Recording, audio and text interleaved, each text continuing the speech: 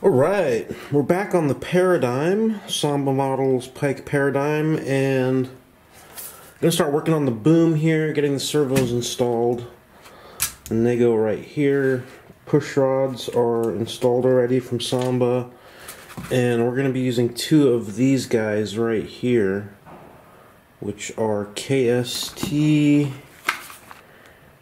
A15 1812s some specs for you. Tons of torque. Tons and tons of torque. Probably overkill, honestly. But anyway, let's zoom in a bit here.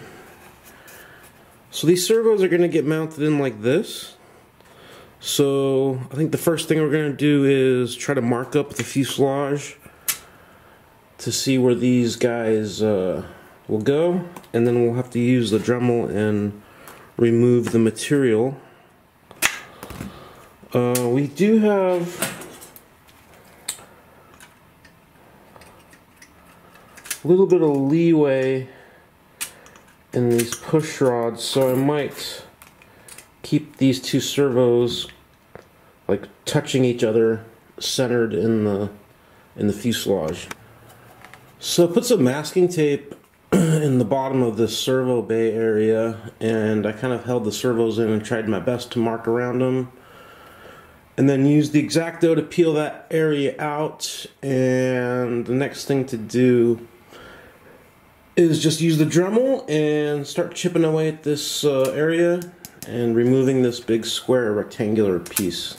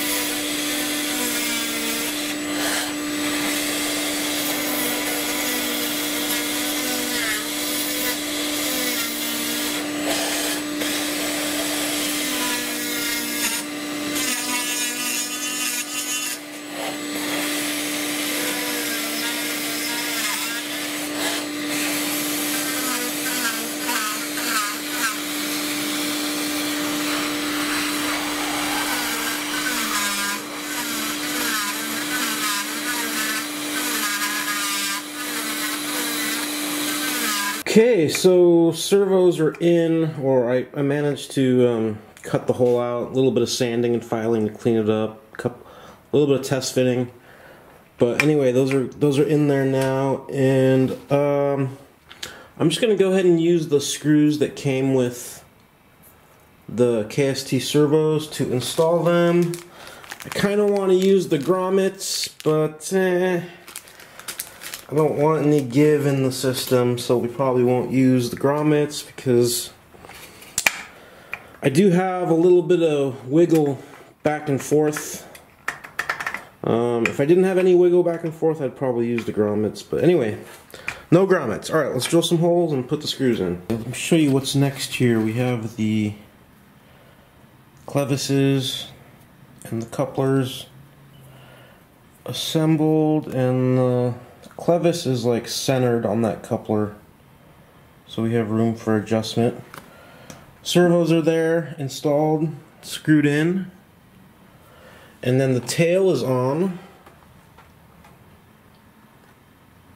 And I have some tape holding things centered and the linkages the rudder linkage and the elevator linkage obviously is hooked up. So basically we're gonna have to mark our push rods here where we want to cut them. That's pretty straightforward task. Okay, so I'm just gonna hook up or hold these clevises with these hemostats, whatever you want to call them. And I'm just gonna hold this just directly in line with these output shafts. So the the hole or the pin for the clevis here will be in line with the out the center of the output shafts. And then what you want to do is I have a silver sharpie here. Just mark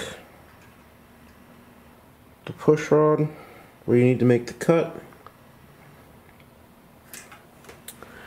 And we're going to do that on both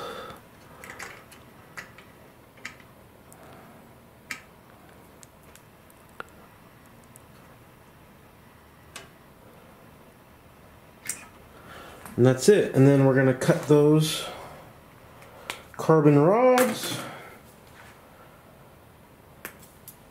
down to size with the Dremel. I've cut these push rods down. I know it's hard for you to see. Can barely see the end there. Easier to disconnect at the tail and then pull them through a little bit and you can make your cut with a rotary tool, Dremel tool. And I've sanded the ends of the push rods so if this was the push rod, I've, I've sanded a little bit of the end and filed some notches in it just to help adhesion. And then these are the couplers. And you can see I've tapered the ends and also ground some notches in there and I put a slot. And you know, these notches came with my kit and they were too tight to go over the push rod. Um, you could sand the end of the push rod, but I elected just to open it up a little bit with a 1.5 millimeter drill bit. Um, and that seemed to work fine. Or just get new couplers. You know, there's all different size couplers you can get, but these came with the kit. So that's it. Uh, we're gonna mix up some epoxy and get the the uh, couplers attached. And I'm also, while I'm doing that, I'm gonna go ahead and cut out the recess here for the multiplex connector. So since we have a little bit of epoxy mixed up, we'll go ahead and glue this in. Okay, this is cut out here for the wiring harness. And I'm going to go ahead and kind of scuff up the back of this as well to get good adhesion. And I also have scuffed up all around here, just trying to get good mechanical adhesion with the uh, the glue we're going to use, the epoxy. So make sure you do open up this hole, scuff around wherever the connector is going to touch. Clean everything with alcohol and also roughen this up too and clean it off with alcohol. I got the epoxy on the couplers.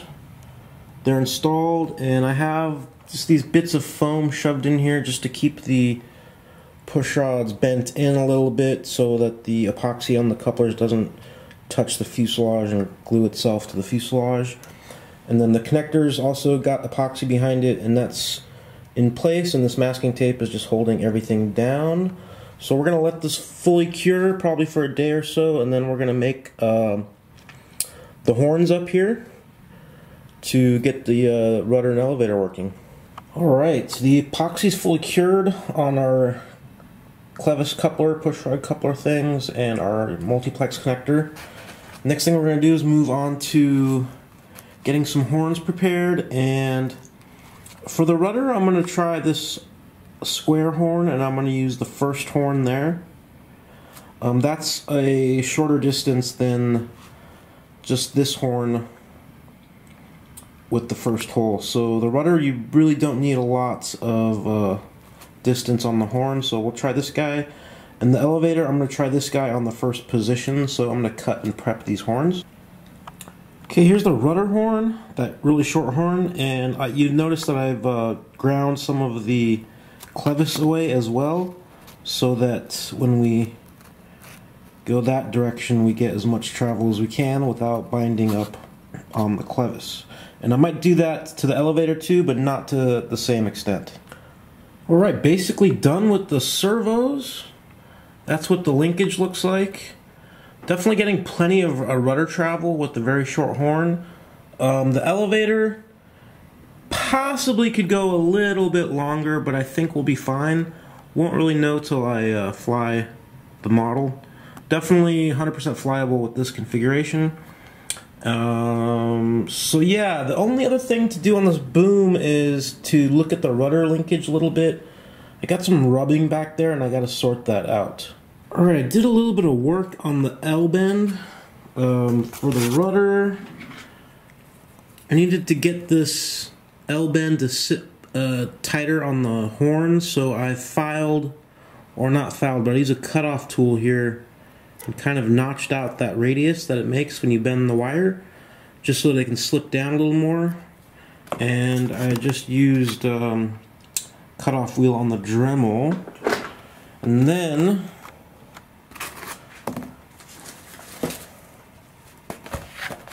for the rudder,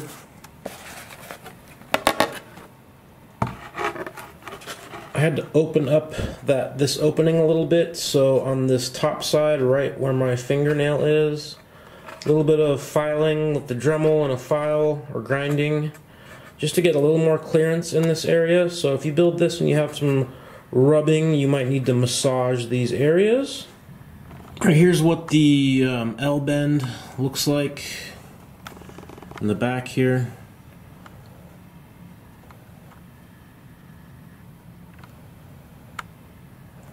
Camera will focus, I guess it won't, but you get the point. Well, I think that's gonna wrap up this video. How to assemble the boom, get the servos in, get the, the tail working. Um, we'll do another video installing the equipment. I think the receiver goes back here. Then we have a tray to install here and all the GPS equipment motor, obviously the battery, speed control, all that fun stuff.